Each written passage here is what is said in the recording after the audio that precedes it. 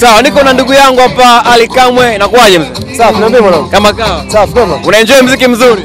Yes, King Music yao. Ulikuwa unamsifia Vanilla, unasema ni, ni mwandishi bora wa muda wote kwako. Mwandishi bora wa muda wote kwenye Bongo Flava. Kijana ambaye anaweza akaimba na msanii yoyote nchi hii, akaimba na msanii yoyote barani Afrika.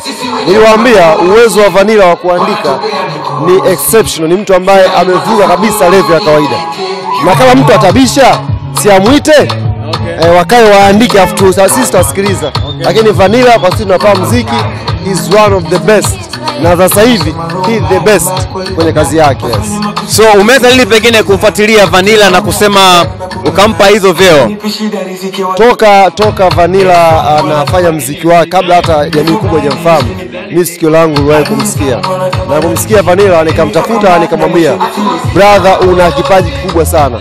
Changamoto kubwa sisi vijana ambao tupo kwenye tasnia hizi za sanaa ni nafasi, ni wakati. Unaweza kuwa na kipaji kizuri, lakini nafasi sio yako na wakati sio wakati wako.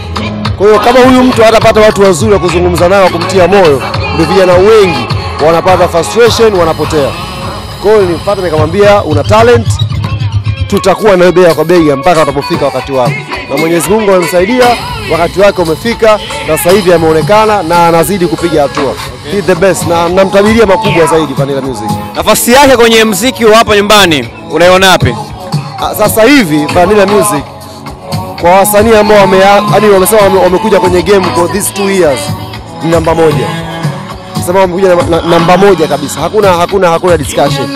Sasa hii Vanilla huu mwaka aloingia sasa hivi ni mwaka tena wa kujitafuta kufika kuja kwenye meza ya, ya wanasema ni top dogs wa big dog, ukaa nao meza moja, ndio muda wake ndio huu.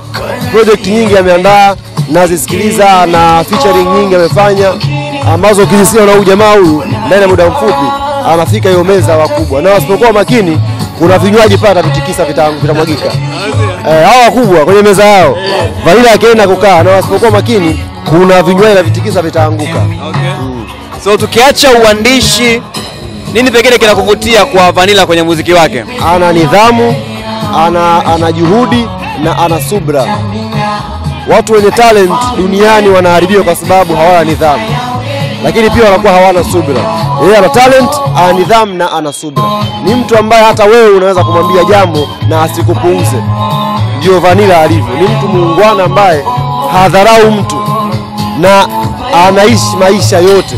Sikatambulisho Kings, lakini ukifika mtaani kwao bado ni vanila mme, washikaji wanajivunia kuwa naye.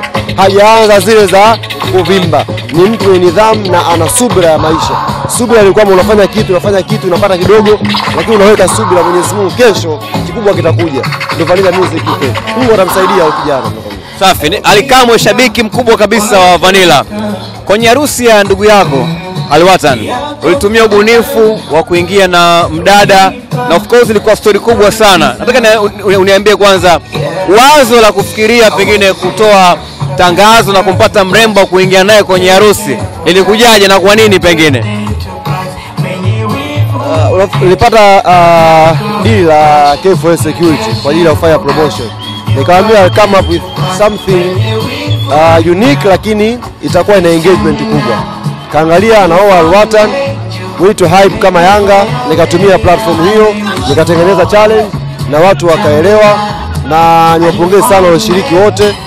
Jambo lilikuwa kubwa, kwa hiyo sponsor ambaye aliweka hela yake alipata mileage na watu walioshiriki, kwa mfano dada aliyeshinda yule biashara yake fanya biashara ya nguo ameongeza wateja wengi sana uh, mikoa tofauti tofauti, maana yake amekuwa.